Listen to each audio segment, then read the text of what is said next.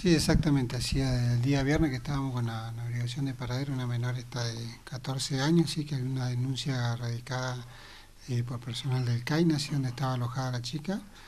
Y bueno, el día de ayer, eh, personal policial toma conocimiento a través del propietario de un apart hotel, de un alojamiento acá de la localidad, de que la menor estaba ahí, con dos personas más.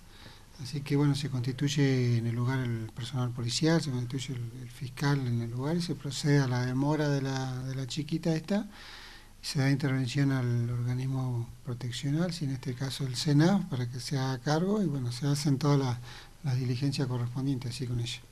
Bien, en principio entonces, ahora, ¿con quién está la menor?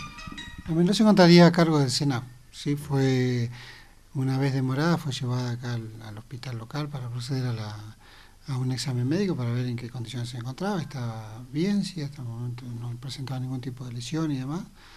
Este, y bueno, ya queda a cargo del SENAF y los que van a resolver en su momento, sí, con la, con la justicia, con el juzgado de familia, cuál va a ser el destino de esta chica, si va a ser entregada a algún familiar, si alguna persona, o va a quedar alojada en, algún establecimiento, como en este caso el CAINA, donde estaba.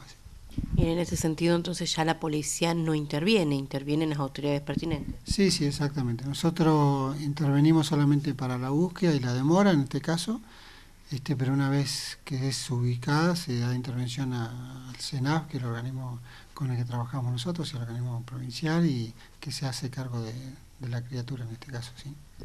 Luego de la revisión del hospital constataron que efectivamente la menor estaba en buenas condiciones. Sí, sí, en principio estaría en, buenas condiciones. ¿sí? Lecciones y ese tipo de, de situaciones no, no, fueron ni denunciadas ni fueron eh, eh percatadas en, la, en, el cuerpo, en la, en la menor, sí, en este caso. Bien, hubo ayer en horas de la tarde un nuevo accidente de tránsito. ¿Pudieron intervenir ustedes allí?